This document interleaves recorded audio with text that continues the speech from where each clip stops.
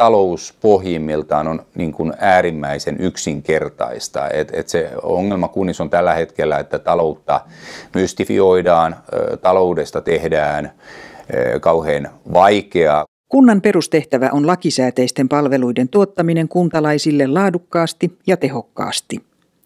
Kuntatalouden työkalujen uudistuminen on kuitenkin ollut hidasta ehkä semmoinen kulunut termi kuin charistinen ö, traditio jollain tavalla näkyy kunnissa, eli, eli kunnat, julkishallinto on aika keskusjohdettua, eli, eli siellä ö, näiden yksikköesimiesten ja kentän rooli talouden kannalta niin, niin on aika pieni ja, ja valitettavan vähäinen.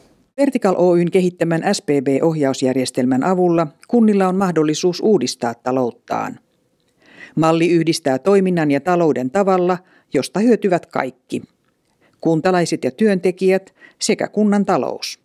SPV-mallin perusidea on oikeastaan se, että nostetaan jalustan päälle tulosyksikkö, esimies, päiväkodinjohtaja, rehtori, kotihoidon ohjaaja, osastohoitaja ja, ja viedään hänelle sekä talousosaamista – että viedään myöskin vastuu siitä taloudesta, toiminnasta, toiminnan suunnittelusta, jolloin hän on, hän on tietoinen siitä, että, että mitä sen organisaation tulee saada aikaa. Hän tietää, millä resursseilla se pitäisi saada ja, ja tälle organisaatiolle asettuu selkeät, selkeät tavoitteet ja, ja, ja tällöin sen organisaation myöskin ohjattavuus on, on huomattavasti parempi ylemmän johdon näkökulmasta ja kaiken kaikkiaan niin talouden ohjaamisesta, suunnittelusta, seuraamisesta tulee huomattavasti helpompaa, kevyempää ja, ja, ja, ja oikeampaa kuin mitä se tällä hetkellä on.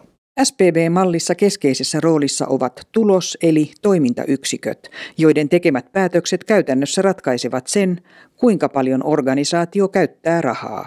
SPV tulee sanoista suoriteperusteinen budjetointi, mutta se suoriteperusteisuus on, on oma juju, eli, eli me tuotteistetaan ja, ja hinnoitellaan nämä, nämä palvelut ja sen jälkeen sen organisaation ikään kuin ansainta perustuu niihin suoritteilla ansaittuihin tuloihin ja tätä kaikkea toteutetaan meidän selainpohjaisessa SPV-ohjaustyökalussa, jossa, jossa, jossa sekä suunnitellaan että seurataan taloutta ja suoritteita. Eli se, se työkalun isoin juju on, on ehkä siinä, että viedään taloustiedot ja suoritetiedot eli toimintatiedot yhteen, kun niitä perinteisesti seurataan erillään toisistaan. Työyhteisön palkitseminen on tärkeä osa SPB-mallin työkalupakkia.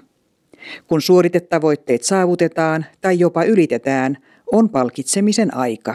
Tätä aikaansaatua tuottavuushyötyä tai tulosta niin voidaan käyttää kannustamiseen, palkitsemiseen, on se nyt sitten työhyvinvointimäärärahaa, koulutusmäärärahaa, mutta monet kunnat on myöskin käyttänyt ihan sitten tulospalkitsemista, eli, eli, eli sitä rahaa on sitten jaettu sille työyhteisölle. Eli, eli meidän mallissa lähtökohtaisesti palkitseminen on aina yhteisöllistä, eli, eli koko vaikkapa sosiaalityöntekijöiden tiimi on sitten osallisena, eli, eli yksilöitä ei sinänsä palkita, vaan se työyhteisö yhdessä saa sen tuloksen aikaiseksi, ja tämä on myös hirveän tärkeä asia, kun katsotaan sitä kannustevaikutusta. Mutta palkitseminen on se, millä eh, saadaan tuottavuutta paremmaksi, laatua paremmaksi ja, ja, ja palkitseminen pitäisi ottaa kattavasti käyttöön kaikissa julkisissa palveluissa, missä se suinkin on mahdollista. SBB-työkalu soveltuu kaikkien kuntapalveluiden laskentaan ja ohjaukseen. Käytännössä SPB-malli ja, ja tämä työkalu sisältää kaiken sen tiedon, mitä tulosyksikön esimies sen oman yksikkönsä johtamiseen tarvitsee. Annetaan se vastuu heille, luotetaan heihin, autetaan heitä sillä tavalla, että päästään tilanteeseen, että tiedetään missä mennään, tiedetään mihin on tarkoitus mennä ja voidaan arvioida sitä, että miten siinä on onnistuttu. SPB-malli on käytössä jo kymmenissä Suomen kunnissa hyvin tuloksin. Heinolan sosiaali- ja terveysjohtaja Kirsi Korttila totesi käyttöönoton jälkeen. SPB-malli on tarjonnut Heinolan kaupungille monipuoliset työkalut sotepalveluiden mittaamiseen ja tuottavuuden parantamiseen. Tätä johdonmukaisesti on, on tervehditty ilolla ja, ja siitä on seurannut niissä kunnissa jossa, ja organisaatioissa, joissa tätä tarkemmin on mitattu, niin siitä on seurannut parempaa työtyytyväisyyttä, parempaa asiakastyytyväisyyttä, parempaa laatua ja, ja, ja mikä nyt tietysti hyvin tärkeää, niin myöskin parempaa tuottavuutta.